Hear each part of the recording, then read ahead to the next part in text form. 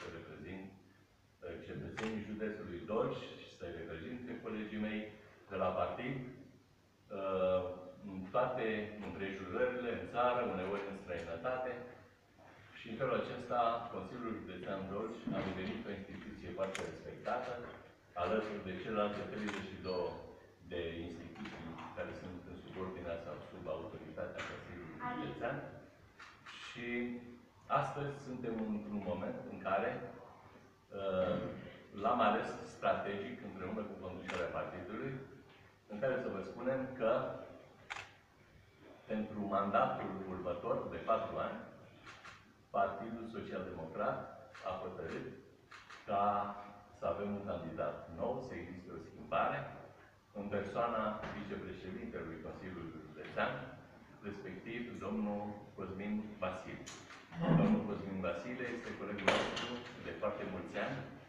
de 16 ani este consilier județean, de peste 6 ani este vicepreședinte al Consiliului Județean, a participat la toate proiectele pe care le-a avut Consiliul Județean, de-a lungul timpului a ocupat funcții importante, fie în domeniul sănătății, fie în domeniul culturii, fie în domeniul serviciilor sociale, sau chiar la Primăria Craiovei, unde a, a participat la multe dintre proiectele europene pe care le-a făcut în perioada când doamna Rio Vasilescu era primar. Și de aceea credem că este persoana cea mai potrivită să poată să ducă aceste proiecte mai departe și să reprezinte în continuare Partidul Social Democrat și Consiliul Județean. Sunt sigur că uh, întreaga uh, conducere a Partidului Social Democrat este alături de Cosmin Vasile, este alături de noi și vreau să vă spun în așa fel încât să nu existe nicio urmă de îndoială că această hotărâre a fost luată și dacă vreți a fost propunerea mea pe care i-a făcut-o președintelui uh, partidului respectiv, domnului Claudiu Manda, de mai bine de șase luni de zile și considerăm că este momentul cel mai prielnic în care avem peste 80 de primari să poată să fie ales un nou președinte de Consiliul Județean care în felul acesta, patru ani de zile, să poată să implementeze proiectele care sunt în acum au depășit stadiul de licitații și peste patru ani de zile să nu ne punem problema cu cine iese Partidul Social Democrat din nou pentru funcția de președinte al Consiliului Județean și bineînțeles să ne gândim că tot domnia sa poate să facă acest lucru mai departe. Așa că facem acest lucru cu toată prietenia, cu toată bunăvoința, arătăm felul acesta că Partidul Social Democrat are rezerve destule să aducă oameni în față care să poată să conducă, iar eu, uh, sigur, mă simt mândru că în această perioadă de timp am contribuit probabil la câteva sute de proiecte, la câteva sute de milioane de euro care au ajuns în județul Dolj, în câteva domenii strategice, cum ar fi infrastructura, infrastructura aeroportuară în domeniul culturii sau al sănătății, sunt lucruri care vor rămâne, dar lucrurile acestea nu le-am făcut singur, le-am făcut împreună cu, cu, cu colegii mei și în felul acesta am uh, scos în evidență inclusiv partidul din care fac parte și pe care l-am slujit cu credință. Uh, în acest moment de final, să-i spunem așa, uh, mă înclin în fața celor uh, cetățenilor din cele 111 localități, în fața primarilor, viceprimarilor, în fața profesioniștilor din Consiliul Județean, în, în fața directorilor instituțiilor din subordine și le mulțumesc din tot sufletul că au fost alături de noi și am făcut o echipă foarte puternică în așa fel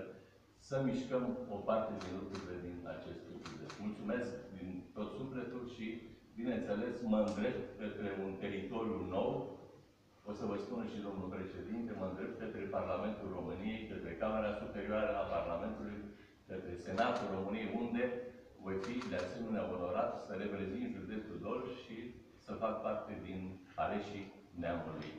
românesc. Mulțumesc foarte mult!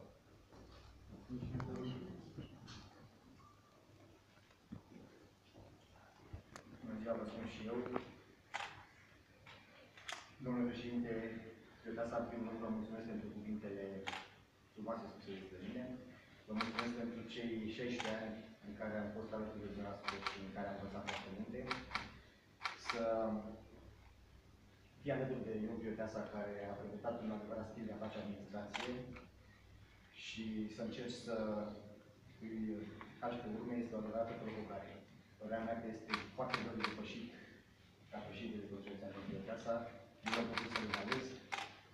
fiind al, aproape de dumnealui, am învățat câteva lucruri și sunt convins că o voi face. Despre mine, am 42 de ani, sunt căsătorit, am un copil, am absolvit liceul clase 20 Craiova, facultatea de drept Craiova, facultatea de științe politice.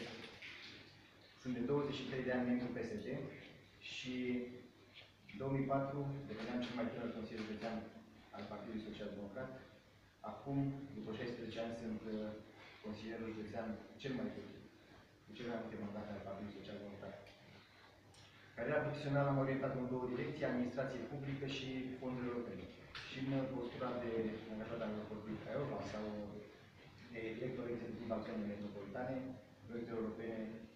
au uh, fost în uh, principala mea preocupare și atribuție, iar ca vicepreședinte de Consiliul Județean, pe partea de investiții, partea tehnică și urbanism, am uh, coordonat pe partea de investiții de Consiliul Județean. De altfel, rețeta prezentată de Ion Gioteasa o avem uh, și în viitor uh, ca și, ca și rețetă de bază,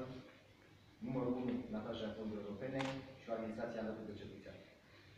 Vom fi numărul 1 în atragerea proiectelor europene și infrastructură și în ce înseamnă în zona aeroportuară, ce înseamnă proiecte în sănătate,